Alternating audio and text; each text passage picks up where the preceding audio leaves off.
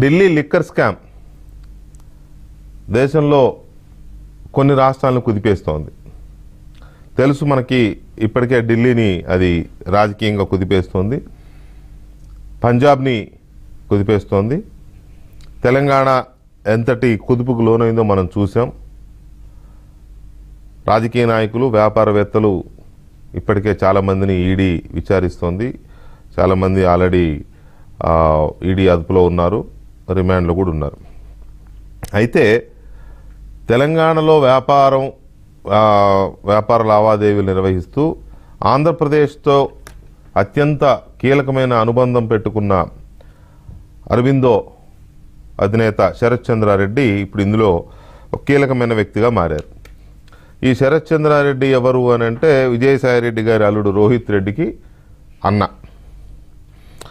అసలు శరత్చంద్రారెడ్డికి ఆంధ్రప్రదేశ్కి ఏంటి సంబంధం? అంటే ఆంధ్రప్రదేశ్లో విజయసాయిరెడ్డి గారు కొన్ని వ్యాపారాలు ప్రారంభించారు. అన్ని వ్యాపారాల్లో శరత్చంద్రారెడ్డే లీడ్ చేస్తాడు డీల్ చేస్తాడు. శరత్చంద్రారెడ్డిని మరి విజయసాయిరెడ్డే ఆయన్నే విజయసాయిరెడ్డి గారు తీసుకొచ్చి కొన్ని వ్యాపారాలు చేస్తాడని అప్పగించారా?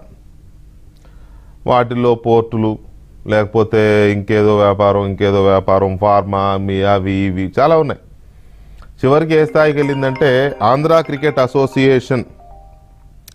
Andhra cricket association అధ్యక్షుడు కూడా శరత్ చంద్రారెడ్డి.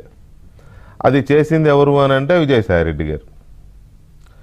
అంటే ఎక్కడికక్కడ తన మనుషులను తీసుకొచ్చి విజయసాయిరెడ్డి గారు అక్కడ ప్లాంట్ చేశాడు చాలా కీలకమైన ఏరియాస్లో. ఎందుకు అని అంటే ఈ సంపాదన మార్గాలు ఏవైతే ఉంటాయో వాటన్నిటిని కూడా ఐడెంటిఫై చేసి.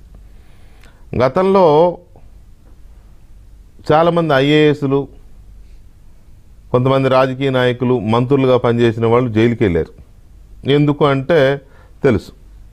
నేను మళ్ళీ నేను చెప్పవసలు ఈ అక్రమాస్తుల కేసులో ఐఏఎస్లు కూడా జైల్లో ఉండి వచ్చారు ఇప్పుడు ఇలాంటి వ్యాపారవేత్తలు వెళ్తున్నారు. అఫ్కోర్స్ అప్పుడు కూడా వెళ్ళారు అనుకోండి ఇప్పుడు మళ్ళీ మళ్ళీ మొదలైంది. కాకపోతే ఇప్పుడు ఇళ్ళలో బంధువులే వెళ్ళిపోతున్నారు వాళ్ళ బంధువులే.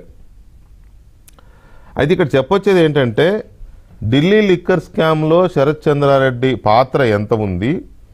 శరత్ చంద్రారెడ్డిని వెనకుండి నడిపించింది విజయసాయిరెడ్డేనా అసలు ఇదంతా ఈ రింగ్ లీడరు విజయసాయిరెడ్డి అనే చర్చ ఎందుకు మనకు వస్తోంది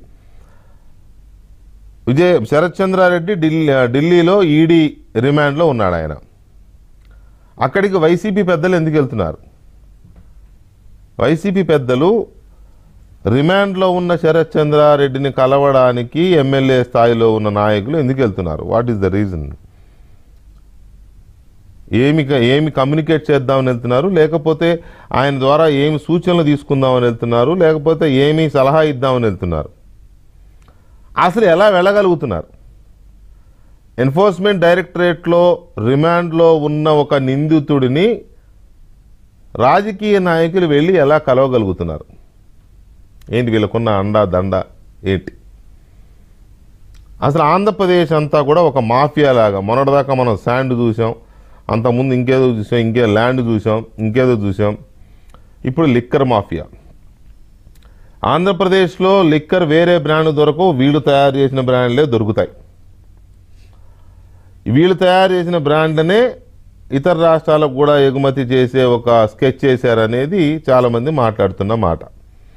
అందులో భాగంగానే లిక్ ఢిల్లీ లిక్కర్ పాలసీని వీళ్ళే తయారు చేసి తెలంగాణకు చెందిన కొంతమంది వ్యక్తులు రాజకీయ నాయకులు అండ్ లిక్కర్ వ్యాపారులు కొంతమంది ఆంధ్రప్రదేశ్కి చెందిన వీళ్ళు ఈ చంద్రారెడ్డి. అంటే ఇవన్నీ ఆరోపణలు ఈడీ విచారణ చేస్తుంది ఆరోపణల్ని.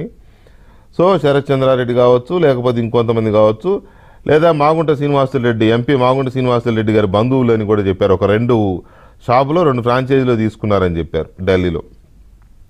సో ఈ మొత్తం రింగ్ లీడర్ ఎవరు? ఈ మొత్తం రింగ్ లీడర్ ఎవరు? ఈ మాఫియా డాన్ ఎవరు? Liquor mafia. సారా వ్యాపారం చేసి బాగుపడినాడు ఇవ్వలేడు భూమి మీద.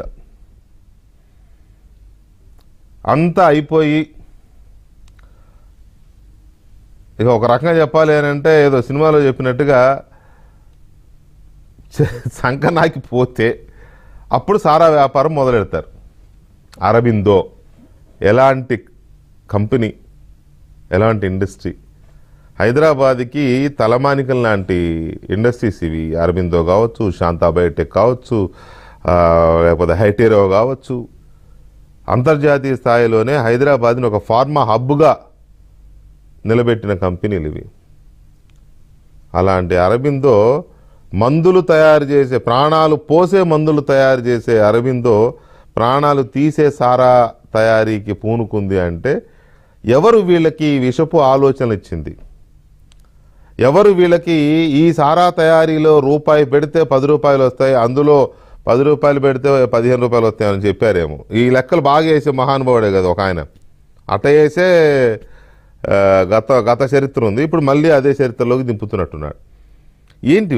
ప్రాణం పోసే మందులు తయారు చేసే కంపెనీని ప్రాణాలు తీసే మందు తయారీలోకి ఎందుకు తీసుకొచ్చారు? ఈ రింగ్ లీడర్ ఎవరు అసలు? శరత్చంద్రారెడ్డి ఇండివిజువల్గా వెళుతున్నాడా?